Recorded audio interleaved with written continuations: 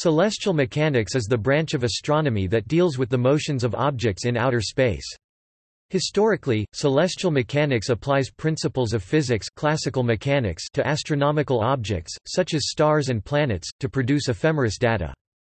As an astronomical field of study, celestial mechanics includes the subfields of orbital mechanics, which deals with the launching and orbits artificial satellites, and lunar theory, a specialty which deals with the complications of the orbit of the Moon.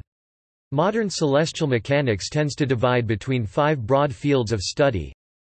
Trajectories of artificial satellites astrodynamics, Motions of major planets, minor planets, and natural satellites in the Solar System and other stellar systems and widely spaced multiple star systems planetary dynamics, the motion of component stars and their planetary systems in closely spaced multiple star systems and globular clusters astrodynamics and stellar dynamics Flow of stars within and among the bodies of large galaxies, dwarf galaxies, and globular clusters stellar dynamics and galactic dynamics Motions of galaxies and intergalactic dust and gas within galaxy clusters computational astrophysics all of the above fields overlap, but are sometimes treated as separate, especially the study of the motion of stars within galaxies and interactions between whole galaxies, which both tend to rely heavily on fluid mechanics whole stars being particles of the fluid.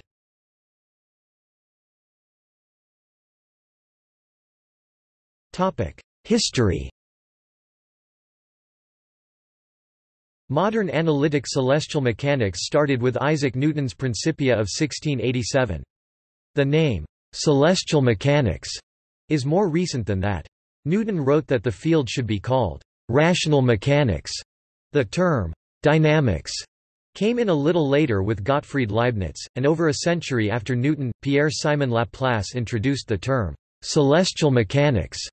Prior to Kepler there was little connection between exact, quantitative prediction of planetary positions, using geometrical or arithmetical techniques, and contemporary discussions of the physical causes of the planet's motion.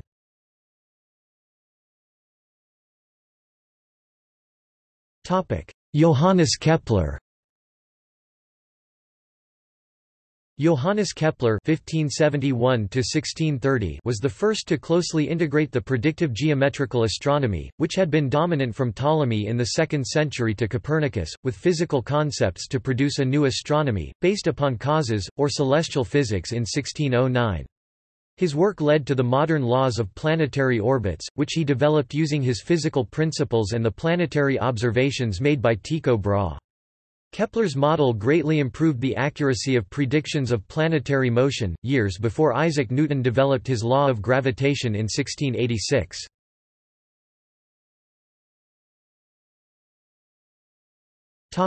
Isaac Newton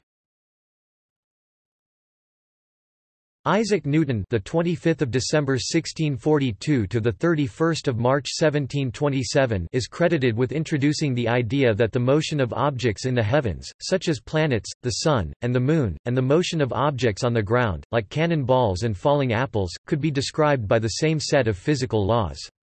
In this sense he unified celestial and terrestrial dynamics. Using Newton's law of universal gravitation, proving Kepler's laws for the case of a circular orbit is simple. Elliptical orbits involve more complex calculations, which Newton included in his Principia.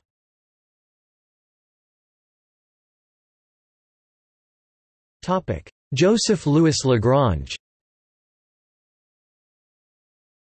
After Newton, Lagrange, the 25th of January 1736 to the 10th of April 1813, attempted to solve the three-body problem, analyzed the stability of planetary orbits, and discovered the existence of the Lagrangian points. Lagrange also reformulated the principles of classical mechanics, emphasizing energy more than force and developing a method to use a single polar coordinate equation to describe any orbit, even those that are parabolic and hyperbolic. This is useful for calculating the behavior of planets and comets and such. More recently, it has also become useful to calculate spacecraft trajectories.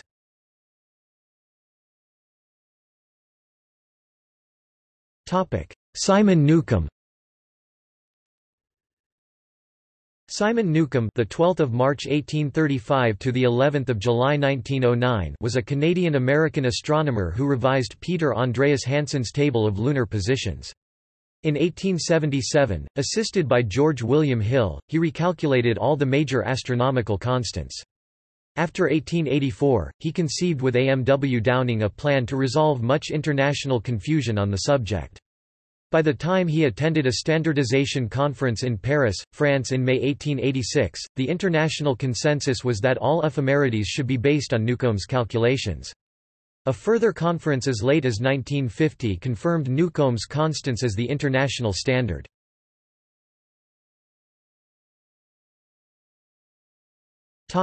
Albert Einstein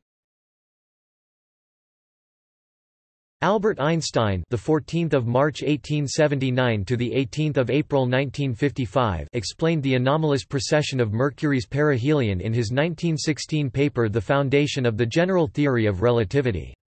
This led astronomers to recognize that Newtonian mechanics did not provide the highest accuracy. Binary pulsars have been observed, the first in 1974, whose orbits not only require the use of general relativity for their explanation, but whose evolution proves the existence of gravitational radiation, a discovery that led to the 1993 Nobel Physics Prize.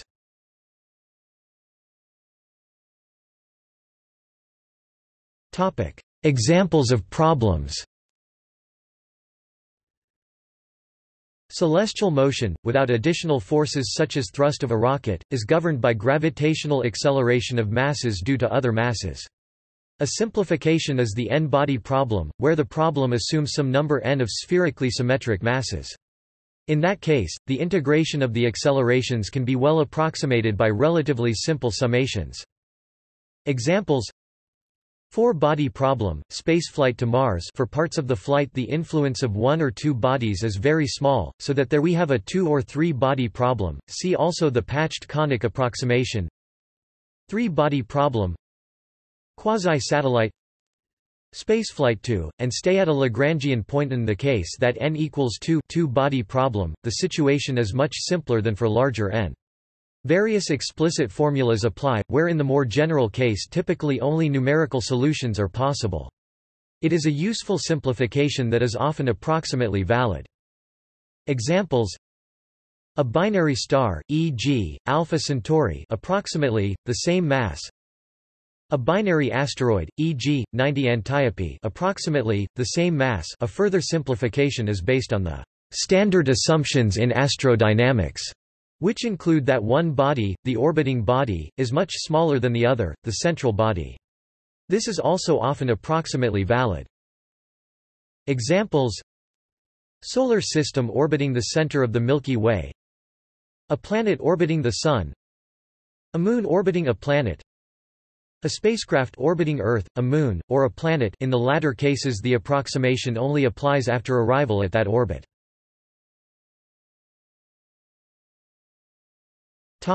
Perturbation theory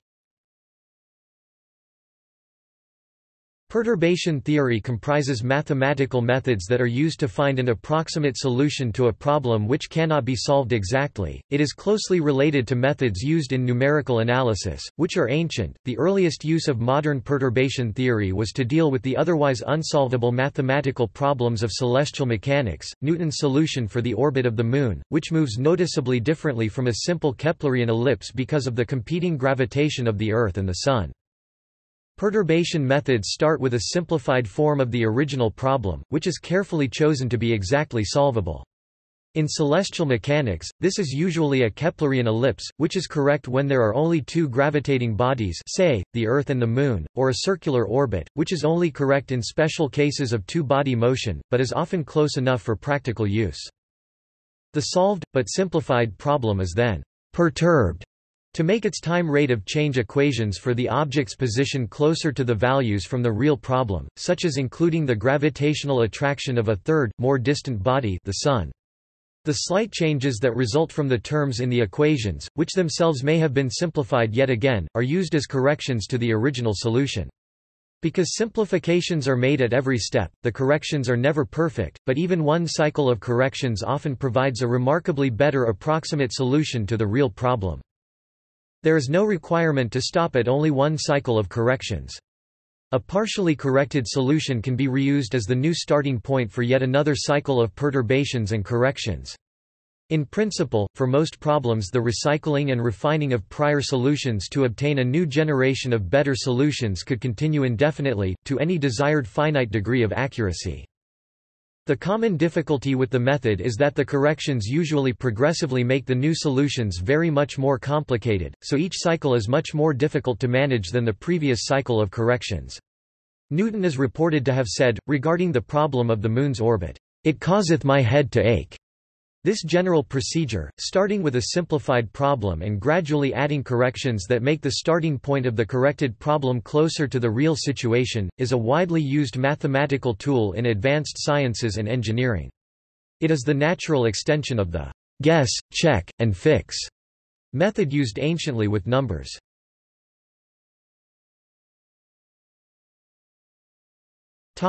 See also Astrometry is a part of astronomy that deals with measuring the positions of stars and other celestial bodies, their distances and movements. Astrodynamics is the study and creation of orbits, especially those of artificial satellites. Celestial navigation is a position-fixing technique that was the first system devised to help sailors locate themselves on a featureless ocean. Dynamics of the celestial spheres concerns pre-Newtonian explanations of the causes of the motions of the stars and planets. Ephemeris is a compilation of positions of naturally occurring astronomical objects as well as artificial satellites in the sky at a given time or times. Gravitation Numerical analysis is a branch of mathematics, pioneered by celestial mechanicians, for calculating approximate numerical answers such as the position of a planet in the sky which are too difficult to solve down to a general, exact formula. Creating a numerical model of the Solar System was the original goal of celestial mechanics, and has only been imperfectly achieved. It continues to motivate research. An orbit is the path that an object makes, around another object, whilst under the influence of a source of centripetal force, such as gravity. Orbital elements are the parameters needed to specify a Newtonian two-body orbit uniquely. Osculating orbit is the temporary Keplerian orbit about a central body that an object would continue on, if other perturbations were not present. Retrograde motion Satellite is an object that orbits another object known as its primary. The term is often used to describe an artificial satellite as opposed to natural satellites, or moons. The common noun moon not capitalized is used to mean any natural satellite of the other planets. Tidal force The Jet Propulsion Laboratory Developmental Ephemeris is a widely used model of the Solar System, which combines celestial mechanics with numerical analysis and astronomical and spacecraft data. Two solutions, called VSOP-82 and VSOP-87 are versions 1 mathematical theory for the orbits and positions of the major planets, which seeks to provide accurate positions over an extended period of time.